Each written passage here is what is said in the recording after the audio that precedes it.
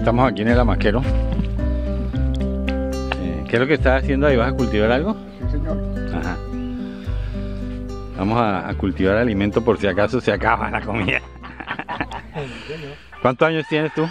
66. ¿Y tú? 63, 63. el 12 de mayo. O sea, ustedes podrían ser las víctimas del coronavirus. De pronto. Sí, señor. Ajá. Se van los más primero que nosotros. ¿Sí? Se van unos primero que nosotros. Yo creo, ¿no es cierto? Estamos muy bien alimentados. Félix, pero esta tierra aquí en la isla es muy seca. No, porque no llueve casi. Aquí no llueve. ¿Y entonces cómo haces para que crezca el alimento? Para que crezca... No, el cultivos? alimento lo compró uno en el mercado. ¿Y aquí por qué casi que la gente no siembra? Usted es casi de los poquitos que siembra. Fernando, aquí antes vivíamos de esto, de la agricultura. Todo se sacaba de aquí. Patilla, todo.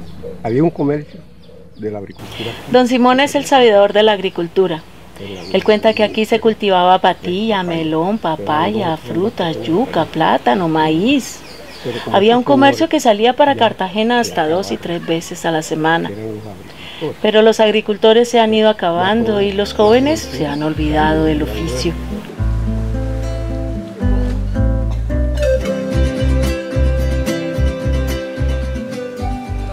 Este año con la pandemia hemos decidido sembrar de nuevo aplicando los principios de la permacultura.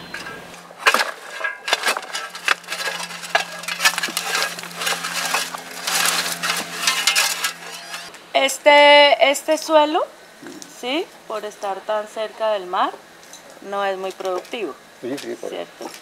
Entonces nosotros lo que hemos hecho aquí es enriquecerlo, ¿sí? A, a base de eh, trabajar la compostera. la compostera. Nosotros recogemos aquí todo lo que son los orgánicos, Sí, los- lo que es maleza de... ¿ves? Se va pudriendo aquí, entonces eso se convierte en un abono. Exacto. la tierra para que se produzca.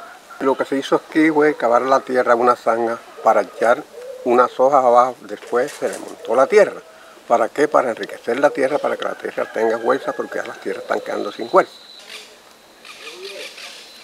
Ya llevamos dos años, no, no se ha podido reproducir porque primero hubo que jugar esas zanjas para darle enriquecimiento a la tierra, para darle fuerza, para después poder sembrar ahí arriba. Ya este año sí se va a poder sembrar porque ya esa tierra tiene fuerza, ya reprodució la fuerza.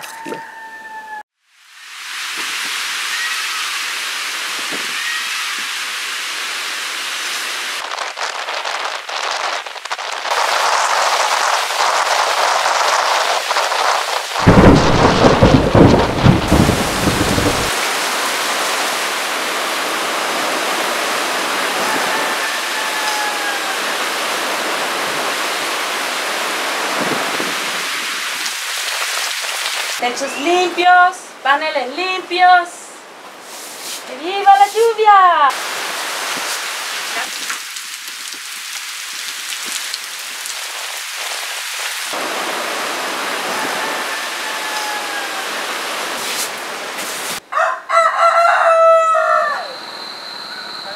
Aquí se están haciendo algo. Mira, esto es calabaza. Ah, es melón.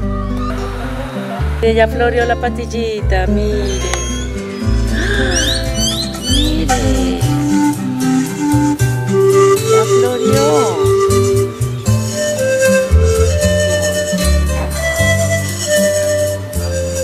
Cambia el sol en su carrera cuando la noche subsiste. Cambia la planta y se viste de verde la primavera. Cambia el pelaje la fiera, cambia el cabello el anciano. Y así como todo cambia, que yo cambie no es extraño.